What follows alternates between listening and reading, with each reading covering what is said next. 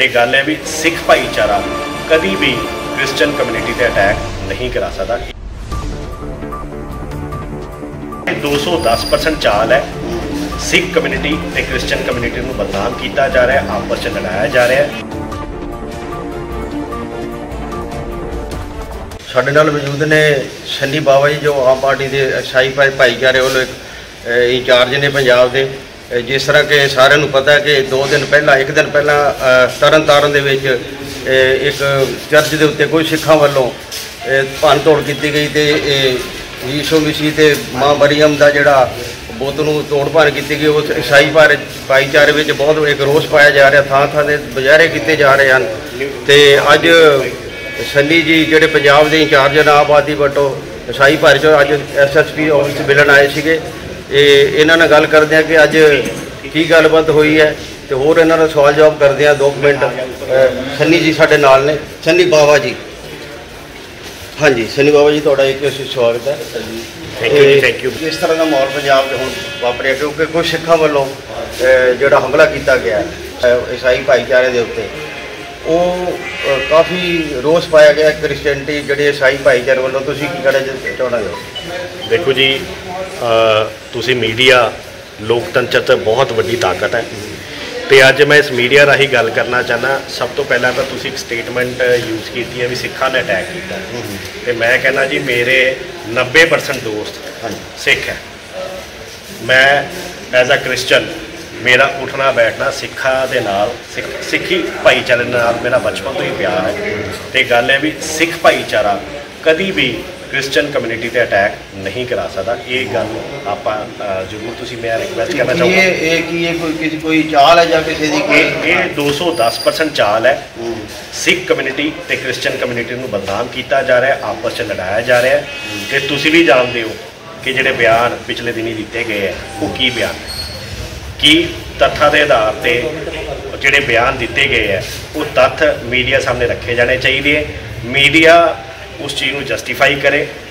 ਗੱਲ ਹੈ ਧਰਮ ਪਰਿਵਰਤਨ ਦੀ। ਧਰਮ ਪਰਿਵਰਤਨ ਕੋਈ ਕਿਸੇ ਦਾ ਨਹੀਂ ਕਰਦਾ। ਜਬਰਨ ਪਰਿਵਰਤਨ ਕੋਈ ਕਿਸੇ ਦਾ ਨਹੀਂ ਕਰਦਾ। ਅਸੀਂ ਇਸ ਗੱਲ ਦੀ ਗੱਲ ਦਾ ਖੰਡਨ ਕਰਦੇ ਹਾਂ। ਤੇ ਜਿੰਨੇ ਲੋਕ ਕਿਸੇ ਵੀ ਚਰਚ 'ਚ ਬੈਠੇ ਹੋਣ ਭਾਵੇਂ ਉਹ ਕੋਈ ਕਿਸੇ ਵੀ ਕਮਿਊਨਿਟੀ ਤੋਂ ਤੁਸੀਂ ਉਹਨੂੰ ਜਾ ਕੇ ਪੁੱਛੋ ਵੀ ਤੁਹਾਡੇ ਨਾਲ ਕੋਈ ਜ਼ਬਰਦਸਤੀ ਕੀਤੀ ਗਈ ਹੈ, ਤੁਹਾਨੂੰ ਕਿਸੇ ਨੇ ਪੈਸਾ ਦਿੱਤਾ ਮੈਂ ਕਹਿੰਦਾ, ਇੱਕ ਬੰਦਾ ਵੀ ਜੇ ਨਿਕਲ ਕੇ ਆ ਗਿਆ ਤੇ ਤੁਸੀਂ ਮੈਨੂੰ ਦੱਸੋ ਆ ਕੇ, ਆਪਾਂ ਉਹਨਾਂ ਦੇ ਅਗੇਂਸਟ ਕਰਾਂਗੇ। ਇੱਕ ਹੋਰ ਚੀਜ਼ ਹੈ ਨਾ ਕਿ ਦੋ ਦਿਨ ਪਹਿਲਾਂ ਇਹ ਜਿਹੜੇ ਅਕਾਲ ਤਖਤ ਦੇ ਜਥੇਦਾਰ ਹੈ, ਹਰਪ੍ਰੀਤ ਸਿੰਘ ਜੀ, ਉਹਨੇ ਬਿਆਨ ਦਿੱਤਾ ਸੀ ਕਿ ਬਾਰਡਰ ਦੇ ਇਲਾਕੇ ਦੇ ਵਿੱਚ ਧਰਮ ਪਰ ਕ੍ਰਿਸਚੀਅਨ ਵਰਲਡ ਵੱਲੋਂ ਧਰਮ ਪਰਿਵਰਤਨ ਕੀਤਾ ਜਾ ਰਿਹਾ ਹੈ। ਕਿ ਉਹਦੇ ਬਿਆਨ ਨੂੰ ਕਿਸ ਤਰ੍ਹਾਂ ਕਿ ਉਹਦੇ ਬਿਆਨ ਤੋਂ ਬਾਅਦ ਹੀ ਕੁਝ ਹੋਇਆ ਹੈ ਦੇਖੋ ਜੀ, ਜਥੇਦਾਰ ਸਾਹਿਬ ਨੇ ਬਿਆਨ ਦਿੱਤਾ, ਬੜੇ ਸਤਿਕਾਰਯੋਗ ਹੈ। ਪਰ ਮੈਂ ਜਥੇਦਾਰ ਸਾਹਿਬ ਨੂੰ ਇਸ ਵੀਡੀਓ ਰਾਹੀਂ ਜ਼ਰੂਰ ਮੈਸੇਜ ਦੇਣਾ ਚਾਹੁੰਦਾ ਵੀ ਸਿੱਖ ਕਮਿਊਨਿਟੀ ਤੇ ਕ੍ਰਿਸਚੀਅਨ ਕਮਿਊਨਿਟੀ ਦਾ ਜਿਹੜਾ ਰਿਸ਼ਤਾ ਉਹ ਮਾਂ, ਔਰ ਨੋ ਤੇ ਮਾਸ ਦਾ ਰਿਸ਼ਤਾ ਪਹਿਲੇ ਨੰਬਰ ਤੇ। ਦੂਜੇ ਨੰਬਰ ਤੇ ਜਿਹੜੀ ਉਹਨਾਂ ਨੇ ਗੱਲ ਕੀਤੀ ਧਰਮ ਪਰਿਵਰਤਨ ਦੀ, ਧਰਮ ਪਰਿਵਰਤਨ ਕਿਸੇ ਦਾ ਕੁਝ ਨਹੀਂ ਹੋਇਆ। ਕੋਈ ਮੈਂ ਕਹਿੰਦਾ, ਕਹਿਣ ਨੂੰ ਤਾਂ ਆਪਾਂ ਕੁਝ ਵੀ ਕਹਿ ਦਈਏ। ਹੁਣ ਮੈਂ ਮੈਂ ਮੰਨ ਲਓ ਮੰਨ ਲਓ ਕਿਸੇ ਮੰਦਿਰ ਚਲਾ ਗਿਆ, ਗੁਰਦੁਆਰੇ ਚਲਾ ਗਿਆ, ਤੇ ਇਟ ਮੀਨਸ ਮੇਰਾ ਧਰਮ ਪਰਿਵਰਤਨ ਹੋ ਗਿਆ।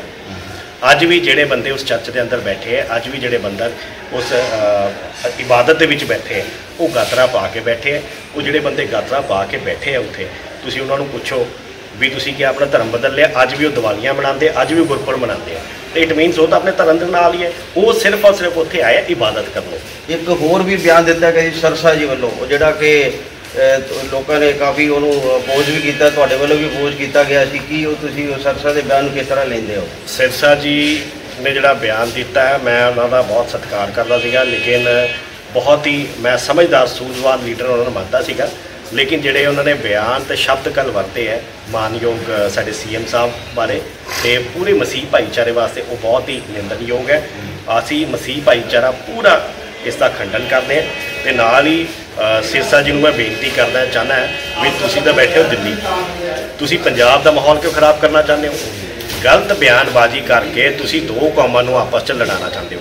ਤੇ ਮੇਰੀ ਸਿੱਖ ਭਾਈਚਾਰੇ ਤੇ ਕ੍ਰਿਸਚਨ ਭਾਈਚਾਰੇ ਨੂੰ ਦੋਨਾਂ ਨੂੰ ਬੇਨਤੀ ਹੈ ਕਿ ਆਪਸ 'ਚ ਕਿਸੇ ਤੀਜੇ ਬੰਦੇ ਕਰਕੇ ਔਰ ਉਹ ਵੀ ਪੋਲੀਟੀਸ਼ੀਅਨ ਉਹ ਜਿਹੜਾ ਕਿਸੇ ਦੇ ਬਲੇਮ ਲਾ ਰਿਹਾ, ਉਹਨੂੰ ਸਭ ਤੋਂ ਪਹਿਲਾਂ ਪੁੱਛਣਾ ਚਾਹੀ- ਚਾਹੀਦਾ ਹੈ, ਤੁਸੀਂ ਆਪ ਪੁੱਛੋ ਵੀ ਤੁਸੀਂ ਆਪਣੇ ਬਾਰੇ ਦੱਸੋ ਵੀ ਤੁਸੀਂ ਕਿੰਨੇ ਗੁਨਾਹ ਕੀਤੇ, ਤੁਸੀਂ ਕਿਹੜਾ ਦੁੱਧ ਦੇ ਧੁਲੇ ਹੋ? ਤੁਸੀਂ ਸਾਡੇ ਸੀਐਮ ਸਾਹਿਬ ਨੂੰ ਜਾਂ ਸਾਡੇ ਆਦਰ ਯੋਗ ਪਾਸਟਰਾਂ ਨੂੰ ਕਹਿ ਰਹੇ ਹੋ ਕਿ ਵੀ ਉਹਨਾਂ ਨੇ ਗੁਨਾਹ ਕੀਤਾ ਹੈ। ਕਾਹਦਾ ਗੁਨਾਹ ਕੀਤਾ ਉਹਨਾਂ ਨੇ? ਤੁਸੀਂ ਜਸਟੀਫਾਈ ਕਰੋ ਤੁਸੀਂ ਹੁੰਦੇ ਕੌਣ ਹੋ ਬੋਲਣ ਵਾਲੇ? ਅਸੀਂ ਪੋਲੀਟੀਕਲ ਲੀਡਰ ਬੀਂਗੇ ਤੁਹਾਡੀ ਰਿਸਪੈਕਟ ਕਰਦੇ ਆ ਤੁਸੀਂ ਸੀਨੀਅਰ ਲੀਡਰ ਹੋ। ਇਸ ਦਾ ਮਤਲਬ ਇਹ ਥੋੜਾ ਵੀ ਕਿਸੇ ਕੌਮ ਨੂੰ ਤੁਸੀਂ ਵੀ, ਸ਼ਿਕੰਜੇ 'ਚ ਲੈ ਕੇ ਤੇ ਕੋਈ ਵੀ ਬਿਆਨਬਾਜ਼ੀ ਕਰੀ ਚੱਲੋ। ਸੀਐਮ ਮਾਨ ਸਾਹਿਬ ਨੇ ਵੀ ਇਹਦੇ ਬਾਰੇ ਇਨਕੁਆਇਰੀ ਕਮੇਟੀ ਬਿਠਾਈ ਹੈ ਵੀ ਇਹਦੀ ਵੀ ਇਨਕੁਆਇਰੀ ਕੀਤੀ ਜਾਵੇ ਤਾਂ ਕਿ ਸੱਚ ਸਾਹਮਣੇ ਆ ਸਕੇ। ਤੁਸੀਂ ਮਾਨ ਸਾਹਿਬ ਦੇ ਜਿਹੜੇ ਇਹ ਜਿਹੜਾ ਐਕਸ਼ਨ ਲਿਆ ਉਹਦੇ ਬਾਰੇ ਕੀ ਕਹਿਣਾ ਚਾਹੋਗੇ? ਮਾਨ ਸਾਹਿਬ ਨੇ ਬਹੁਤ ਅੱਛਾ ਐਕਸ਼ਨ ਲਿਆ ਹੈ ਤੇ ਮੈਂ ਪੂਰੇ ਜਿਹੜੇ ਸਾਡੇ ਆਦਰਨੀਏ ਸੀਐਮ ਸਾਹਿਬ ਹੈ ਮਾਨ ਸਾਹਿਬ ਮੈਂ ਉਹਨਾਂ ਦਾ ਦਿਲੋਂ ਧੰਨਵਾਦੀ ਹਾਂ ਤੇ ਪੂਰਾ ਮਸੀਹ ਭਾਈਚਾਰਾ ਜਿਹੜਾ ਕਿ ਉਹਨਾਂ ਨੇ ਇੱਕ ਸਿੱਟ ਕਮੇਟੀ ਬਣਾਈ ਹੈ ਜਿਹੜੀ ਕਿ ਤਰਨਤਾਰਨ ਅ, ਮੂਰਤੀ ਦੀ ਬੇਅਦਬੀ ਕੀਤੀ ਗਈ ਹੈ ਉਹ ਸੀਟ ਕਮੇਟੀ ਦੀ ਕਾਰਵਾਈ ਚੱਲਦੀ ਪਈ ਹੈ ਤੇ ਜਲਦੀ ਉਹਦਾ ਕੋਈ ਨਾ ਕੋਈ ਰਿਜ਼ਲਟ ਆ ਜਾਏਗਾ। ਮੈਂ ਸੀਐਮ ਸਾਹਿਬ ਦਾ ਬਹੁਤ ਧੰਨਵਾਦੀ ਹਾਂ ਔਰ ਪੂਰੀ ਗਵਰਨਮੈਂਟ ਦਾ ਆਮ ਆਦਮੀ ਦਾ ਕਿ ਜਿਹੜੀ ਇਸ ਸਮੇਂ ਇਸ ਟਾਈਮ ਔਖੇ ਟਾਈਮ 'ਚ ਸਾਡੇ ਮਸੀਹ ਭਾਈਚਾਰੇ ਨਾਲ ਮੋਢੇ ਨਾਲ ਮੋਢਾ ਲਾ ਕੇ। ਤੁਹਾਡੀ ਐਸਐਸਪੀ ਸਾਹਿਬ ਨੇ ਜਿਹੜੇ ਮੋਹਾਲੀ ਦੇ ਐਸਐਸਪੀ ਤੁਸੀਂ ਮਿਲ ਕੇ ਆਏ ਹੋ ਕੀ ਉਹਨਾਂ ਨੇ ਤੁਹਾਨੂੰ ਆਸ਼ਵਾਸਨ ਦਿੱਤਾ? ਐਸਐਸਪੀ ਸਾਹਿਬ ਨਾਲ ਗੱਲ ਹੋਈ ਸੀਗੀ। ਐਸਐਸਪੀ ਸਾਹਿਬ ਨੇ ਅੱਜ ਜਿਹੜੀ ਪ੍ਰੈਸ ਕਾਨਫਰੰਸ ਹੈ ਉਹ ਕੈਨਸਲ ਕਰਨ ਦਾ ਮੇਨ ਮਕਸਦ ਇਹ ਸੀਗਾ ਕਿ ਜਿਹੜੀਆਂ ਗੱਲਾਂ ਅਸੀਂ ਉੱਥੇ ਪਬਲਿਕਲੀ ਕਰਨੀ ਸੀਗੀਆਂ ਤੇ ਉਹ ਗੱਲਾਂ ਉਹਨਾਂ ਨਾਲ ਅੱਜ ਸਾਡੇ ਨਾਲ ਬੈਠ ਕੇ ਹੋ ਗਈਆਂ ਤੇ ਸਾਡੀ ਕੋਸ਼ਿਸ਼ ਹੈ ਆਉਣ ਵਾਲੇ ਟਾਈਮ 'ਚ ਮੇਬੀ 2-4 ਦਿਨ ਤੱਕ ਚੀਫ ਮਿਨਿਸਟਰ ਆਫ ਪੰਜਾਬ ਨਾਲ ਸਾਡਾ ਪੂਰਾ ਕ੍ਰਿਸਚੀਅਨ ਡੈਲੀਗੇਸ਼ਨ ਬੈਠ ਕੇ ਜਿਹੜੇ ਸਿਚੁਏਸ਼ਨ ਪੰਜਾਬ ਦੀ ਹੈ ਉਸ ਤੇ ਚਰਚਾ ਕੀਤੀ ਜਾਏਗੀ ਤੇ ਸਾਨੂੰ ਆਸ ਵੀ ਹੈ ਕਿ ਸੀਐਮ ਸਾਹਿਬ ਸਾਨੂੰ ਇਨਸਾਫ ਵੀ ਇਸ ਮੁਹਿੰਮ ਦੇ ਵਿੱਚ ਦਵਾਉਣਗੇ। ਇਹ ਸਨ ਸਾਡੇ ਨਾਲ ਸੰਨੀ ਬਾਵਾ ਜੀ ਜਿਹੜੇ ਕਿ ਅ, ਕ੍ਰਿਸਚੀਅਨ ਈਸਾਈ ਭਾਈਚਾਰੇ ਦੇ ਆਪਣਾ ਇੰਚਾਰਜ ਨੇ ਪੰਜਾਬ ਦੇ। ਇਹਨਾਂ ਦਾ ਕਹਿਣਾ ਕਿ ਜਿਹੜਾ ਸਰਸਾ ਵੱਲੋਂ ਬਿਆਨ ਦਿੱਤਾ ਗਿਆ, ਇਹ ਬਹੁਤ ਮੰਦਭਾਗਾ ਬਿਆਨ ਹੈ ਤੇ ਇਹਨਾਂ ਨੇ ਸ਼ਲਾਘਾ ਕੀਤੀ ਹੈ। ਪੰਜਾਬ ਸੀਐਮ ਸਾਹਿਬ ਦੀ ਇੱਕਦਮ ਐਕਸ਼ਨ ਲਿਆ ਗਿਆ ਹੈ ਤਾਂ ਕਿ ਇਹ ਪੰਜਾਬ ਦਾ ਮਾਹੌਲ ਖਰਾਬ ਨਾ ਹੋਵੇ। ਅਸੀਂ ਏਕੇਐਸ ਨਿਊਜ਼ ਵਾਸਤੇ ਸੰਨੀ ਸਾਹਿਬ ਦਾ ਇੱਕ ਧੰਨਵਾਦ ਕਰਦੇ ਹਾਂ ਜਿਨ੍ਹਾਂ ਨੇ ਸਾਨੂੰ ਟਾਈਮ ਦਿੱਤਾ। ਧੰਨਵਾਦ ਜੀ। Prahlad Singh AKS news Mohali.